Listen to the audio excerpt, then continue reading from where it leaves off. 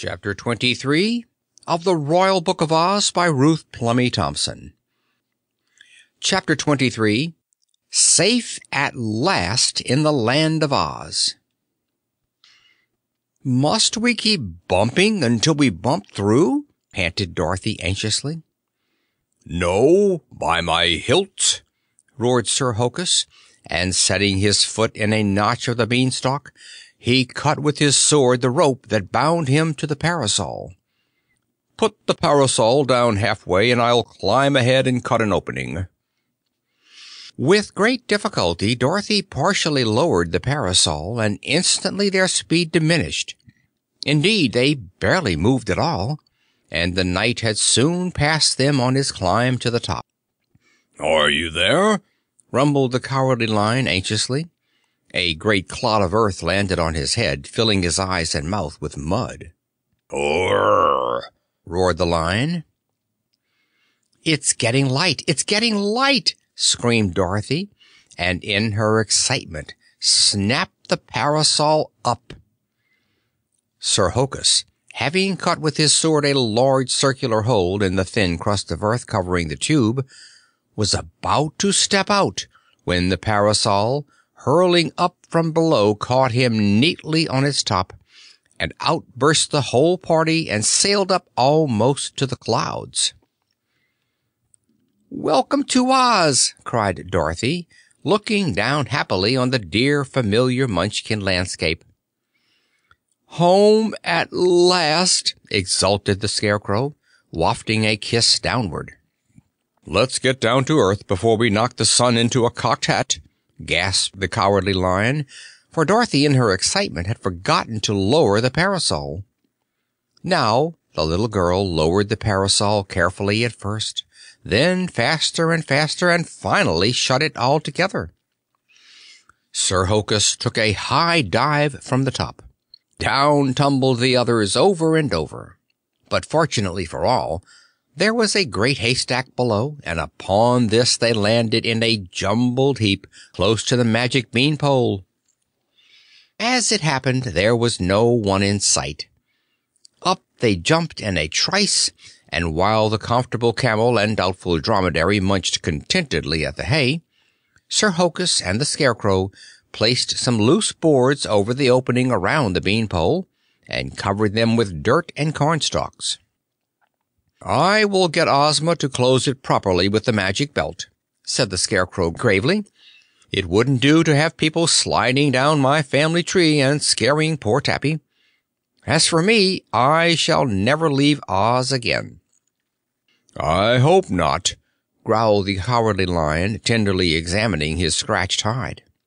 "But if you hadn't, I'd never have had such lovely adventures, or found Sir Hokus and the Comfortable Camel and Doubtful Dromedary," said Dorothy.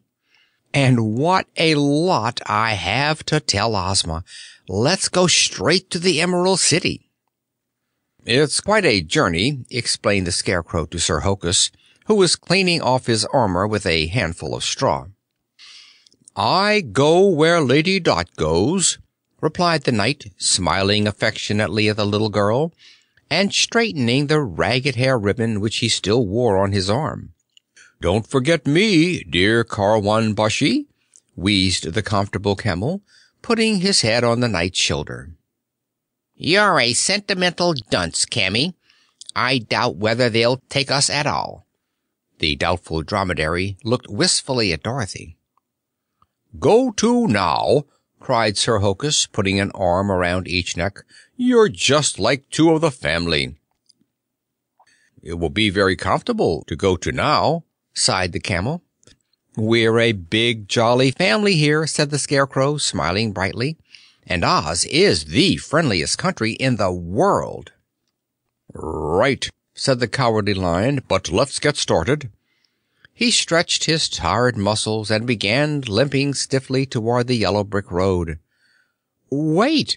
cried Dorothy. "Have you forgotten the parasol?" "I wish I could," groaned the Cowardly Lion, rolling his eyes.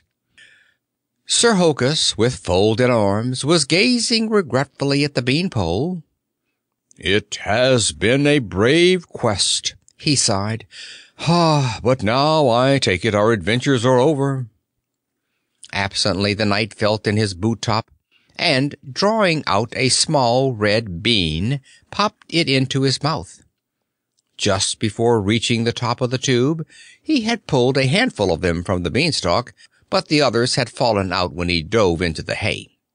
Shall we use the parasol again, Lady Dot? he asked, still staring pensively at the beanpole. Shall he got no farther, nor did Dorothy answer his question. Instead, she gave a loud scream and clutched the Scarecrow's arm. The Scarecrow, taken by surprise, fell over backward, and the Comfortable Camel, raising his head inquiringly, gave a bellow of terror. From the knight's shoulder a green branch had sprung, and while the company gazed in round-eyed amazement, it stretched toward the beanpole, attached itself firmly, and then shot straight up into the air, the knight kicking and struggling on the end. In another second he was out of sight. Come back, come back, screamed the comfortable camel, running around distractedly. I doubt we'll ever see him again, groaned the doubtful dromedary, craning his neck upward. Do something! Do something! begged Dorothy, at which the Scarecrow jumped up and dashed toward the little farmhouse. I'll get an axe, he called over his shoulder, and chop down the beanpole. No, don't do that, roared the Cowardly Lion, staring after him. Do you want to break him to pieces? Oh, oh, can't you think of something else? cried Dorothy. And hurry, or he'll be up to the moon. The Scarecrow put both hands to his head and stared around wildly. Then, with a triumphant wave of his hat, declared himself ready to act. The parasol! cried the late Emperor of Silver Island. Quick, Dorothy, put up the parasol! Snatching the parasol which lay at the foot of the beanpole, Dorothy snapped it open, and the Scarecrow just had time to make a flying leap and seize the handle before it soared upward, and in a trice they too had disappeared. Dowdy, Dowdy, wailed the Comfortable Camel, crowding up to his hump-backed friend. We're having a pack of trouble. My knees are all a-tremble. Now, don't you worry, advised the Cowardly Lion, sitting down resignedly. I'm frightened myself, but that's because I'm so cowardly. Queer things happen in Oz, but they usually turn out all right. Why, Hokus is just growing up with the country, that's all, just growing up with the country. Doubt that, sniffed the doubtful dromedary faintly. He was grown up in the beginning. But think of the Scarecrow's brains. You leave things to the Scarecrow. But it was no use. Both beasts began to roar dismally. I don't want a plant. I want my Karwan Bashi, sobbed the comfortable camel broken-heartedly. Well, don't drown me, begged the cowardly lion, moving out of the way of the camel's tears. Say, what's that draft? What indeed? In the trees overhead, a very cyclone whistled, and before the three had even time to catch their breaths, they were blown high into the air, and the next instant were hurling toward the Emerald City like three furry cannonballs, faster and faster. End of chapter 23